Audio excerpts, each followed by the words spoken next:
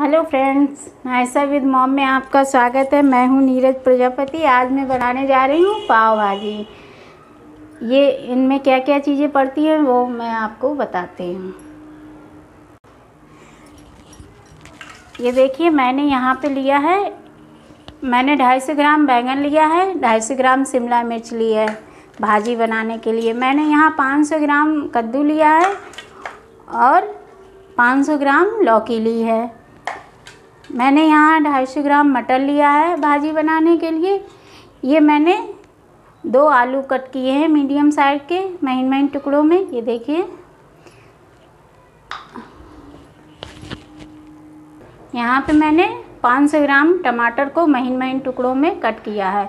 डालने के लिए तो बहुत सी चीज़ें आप डाल सकते हो, लेकिन इस समय गर्मी है तो ज़्यादा सब्ज़ियाँ हमें मिल नहीं सकती हैं तो मैंने कुछ खासी खास सब्ज़ी डाली है इसमें। यहाँ पे मैंने पाव भाजी बनाने के लिए, पाव मैंने यहाँ पे आठ पैकेट लिए हैं। मैं पाव भाजी ज़्यादा बनाने जा रही हूँ। मैंने यहाँ पे बड़ा कुकर लिया है। अब हम ये सब्ज़ी इसमें डाल के उबालेंगे। सारी सब्ज़ियाँ इसमें डाल, ये देखिए, यहाँ पे मैंने सारी सब्ज़ियाँ इसमें डाल दी। हमने बस शिमला मिर्च नहीं डालना हमें। ये बाद में मैं बताऊँगी आपको। यहाँ पे मैं ये मटर अभी गैस पे चार से पाँच मिनट बॉयल करने रख दूँगी। मैं ये बॉयल करके डालूँगी। कुकर में नहीं बॉयल करूँगी क्योंकि घुट जाएगी उसमें। तो फ्रेंड्स ये देखिए, मैंने गैस को ऑन कर दिया है। अब मैं इसमें एक कप पानी ऐड करूँगी। ज़्यादा नहीं हमको डालना है। सब्ज़ियाँ अभी पानी छोड़ देंगी। अब हम इसको मीडियम फ्लेम पे, इसमें दो सीटी लगाएँगे बस। सो so फ्रेंड्स अब हम आपको बताएँगे कि मसाले हम क्या क्या डाल रहे हैं इसमें। यहाँ पे मैंने पाँच प्याज लिए हैं तड़के के लिए भाजी में। यहाँ पे मैंने एक साबुत गांठ लहसुन की ली है, डेढ़ इंच अदरक का टुकड़ा लिया है। यहाँ मैंने पाँच छः छः हरी मिर्च महीन महीन कट की है। ये पाव भाजी मसाला मैं अभी चार से पाँच चम्मच ऐड करूँगी इसमें। सो so फ्रेंड्स यहाँ पे मैंने एक चम्मच हल्दी पाउडर लिया है, एक चम्मच धनिया पाउडर लिया है, एक चम्मच लाल मिर्च पाउडर लिया है, एक चम्मच छोटी गरम मसाला लिया है। मैं ज़्यादा क्वांटिटी में बना रही हूँ, इसलिए मैं मसाले भी थोड़ा ठीक ठाक ले रही हूँ। यहाँ पे मैं स्वाद अनुसार नमक डालूँगी, अभी आपको बताऊँगी। कट कर लिया इस तरीके से। अब हम लहसुन को और अदरक इसी में, खल्लड़ में इस तरह से कूट लेंगे। सो so फ्रेंड देखिए, हमने लहसुन को इस तरह से कूट लिया है। अब हमारे यहाँ कुकर में दो सीटी लग चुकी हैं। मैंने गैस को बंद कर दिया। अब हम इसको ठंडा होने के लिए रख देंगे। जब गैस निकल जाएगी, तब हम इसको किसी बड़ी परात में निकालेंगे। यहाँ पे मैंने मटर को बॉईल कर लिया है। मैंने चार से पाँच मिनट लगे इसको बॉयल कर लिया ज़्यादा नहीं, एक उबाल आ जाए, बस बंद कर देना। हमें ज़्यादा नहीं बॉयल करना। अभी जब हम भाजी फ्राई करेंगे, तब इसका पानी निकाल के इसको ऐड करेंगे। देखिए फ्रेंड्स मैं ये भाजी हमारी बॉयल हो चुकी है, अब हम इसको इस तरह से कर लेंगे। मीस देंगे इसको।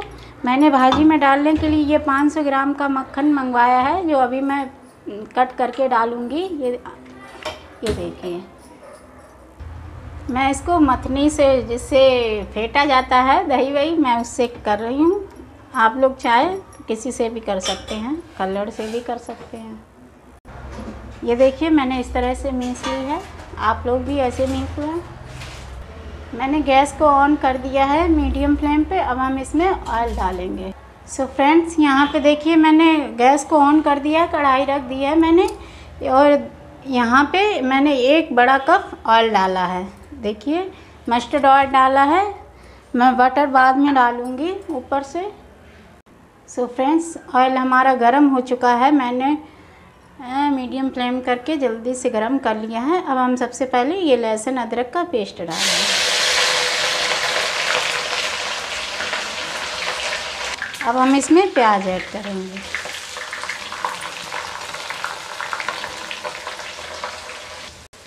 प्याज हमारा जब गोल्डन ब्राउन हो जाएगा, तब हम इसमें टमाटर ऐड करेंगे। इसको पाँच मिनट लगेंगे प्याज को। मैंने यहाँ पे ये करछी ली है, बड़ी करछी दाल वाली।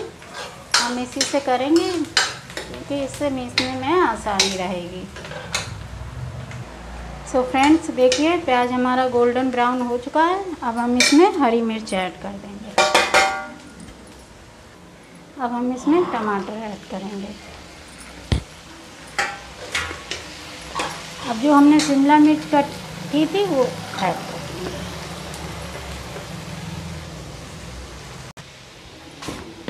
मैं इसमें अभी आधा चम्मच नमक ऐड कर रही हूँ। छोटा चम्मच है, बाकी बाद में करूँगी। गैस को हमें मीडियम रखना है। सो फ्रेंड्स दो मिनट हो चुका है। जो मटर मैंने बॉयल की थी, वो भी इसी में ऐड कर देंगे। और इसको हमें 10 मिनट तक पकाना है। इसको हमें ढक देना है अभी। मैंने यहाँ पे ऐसी प्लेट ली है, इस तरह से ढक देंगे। सो so फ्रेंड्स देखिए, शिमला मिर्च और मटर हमारी गल चुकी है। अब हम इसमें मसाला ऐड करेंगे। ये देखिए, हल्दी पाउडर। गरम मसाला, धनिया पाउडर, लाल मिर्च पाउडर। अब इसको अच्छे से मिक्स कर देंगे। सो so फ्रेंड्स दो मिनट मैंने मसाला डाल के इसको अच्छे से पका लिया। अब हम इसमें ये जो सब्ज़ियाँ हैं, वो ऐड कर देंगे। इस तरह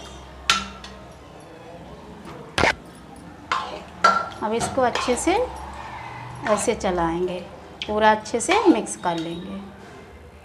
सो so फ्रेंड्स ये देखिए, हमने मिक्स कर लिया है। अब हम इसमें पाव भाजी, जो मसाला लिया था, मैं वो ऐड कर रही हूँ, चार चम्मच। ये देखिए। अब इसको अच्छे से मिक्स कर देंगे। हमें मीडियम फ्लेम पे इसको 10 मिनट पकाना है। अब हम इसमें नमक ऐड करेंगे। मैंने एक चम्मच पहले नमक डाला था, अब मैं एक चम्मच अब डाल रही हूँ। ये डेढ़ चम्मच। आप लोग स्वाद के अनुसार डाल सकते हैं और इसको अच्छे से मिक्स कर देंगे। सो so फ्रेंड्स ये देखिए, मैंने यहाँ पे बटर लिया है। ये मैंने काट के ये बटर डाल रहा है इस तरह से। इसको अच्छे से मिक्स कर देंगे।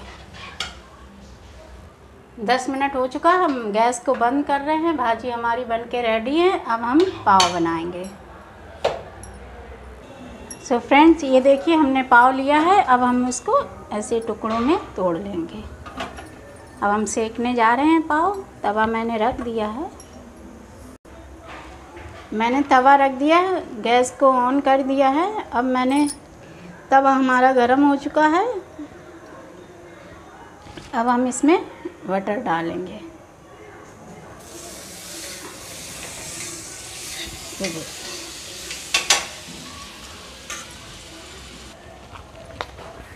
अब हम इसमें थोड़ा सा नमक डालेंगे इस तरह से, एक चुटकी एक चुटकी गरम मसाला, एक चुटकी लाल मिर्च पाउडर, एक चुटकी हल्दी पाउडर। ये देखिए, हमने यहाँ पे पाव रख दी है। आप इस तरह से भी खा सकते हैं और सादा भी सेक के बटर डाल के खा सकते हैं। आप घी का भी यूज़ कर सकते हैं, मैं यहाँ पे बटर का यूज़ कर रही हूँ। देसी घी का भी यूज़ कर सकते हैं। मैंने इस तरह से छेद वाला पर वो लिया है दबाने के लिए, जिससे पूड़ी उड़ी सेके जाती हैं। अब इस तरह को, इसको अच्छे से दबा दबा के सेंक लेंगे। हमें मीडियम फ्लेम पे दो से तीन मिनट लग, दो मिनट लगते हैं इसको सेकने में।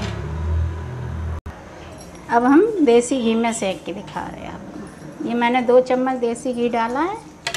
अब यहाँ पे इसको अच्छे से दबा देंगे। गैस को स्लो कर देंगे। सो so फ्रेंड्स ये भी मैंने सेक लिए अब हम इसको निकाल लेंगे। इस तरह से हमें ब्राउन कर लेनी है। ये देखिए पाव भाजी हमारी बनके रेडी है। अगर मेरी रेसिपी आपको पसंद आई तो प्लीज़ मेरे वीडियो को लाइक करें शेयर करें और प्लीज़ मेरे चैनल को सब्सक्राइब ज़रूर कर दें। बाय